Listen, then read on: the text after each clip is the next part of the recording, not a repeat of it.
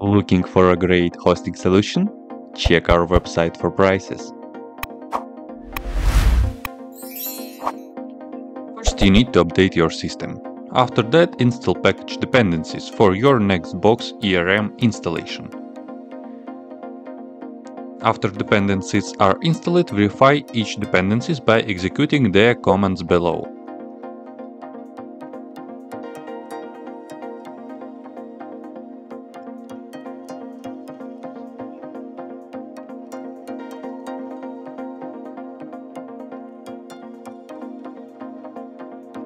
Log into the PostgreSQL server by executing the following command.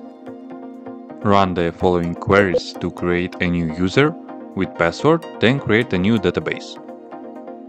After that, verify the list of users and database.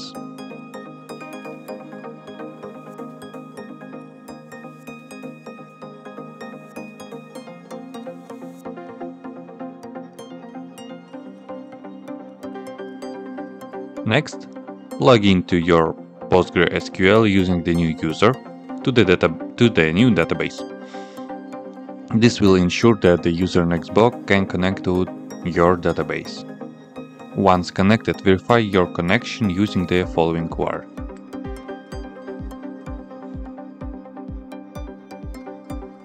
Open the default Redis configuration using the following Nano editor uncomment the option require pass and input your password.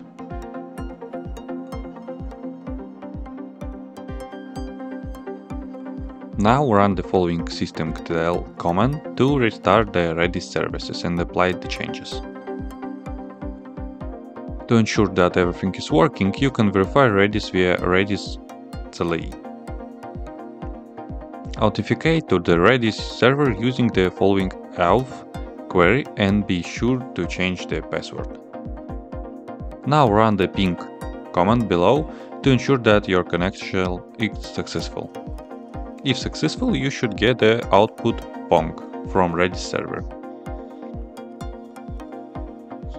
Next, you execute the command below to create a new system user NetBox.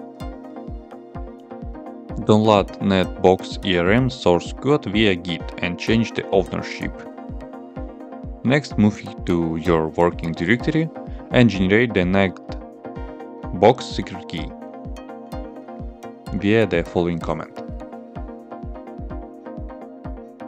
Copy the default configuration to configuration.py, then open the new file configuration using the following nanoeditor command.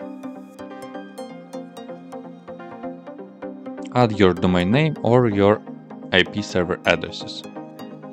Input your PostgreSQL database details to the database section. Within the Redis section, input details of your Redis server. Lastly, input your secret key to the secret key section. Next, execute the following command. This will create a new Python in virtual environment, install some Python packages and libraries.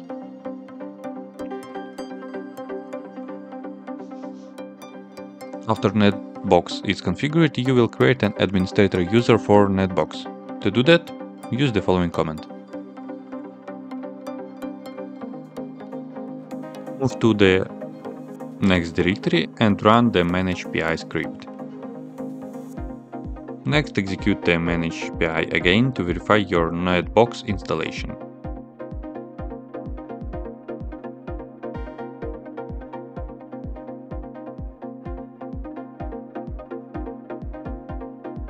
Open your web browser and visit your server IP address, followed by port 8000.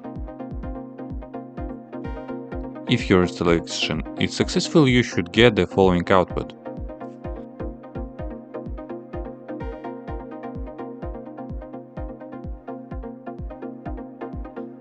Click on Login button. Input your admin username and password.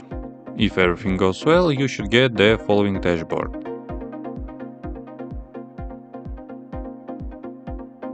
If you have any questions, leave them in comments.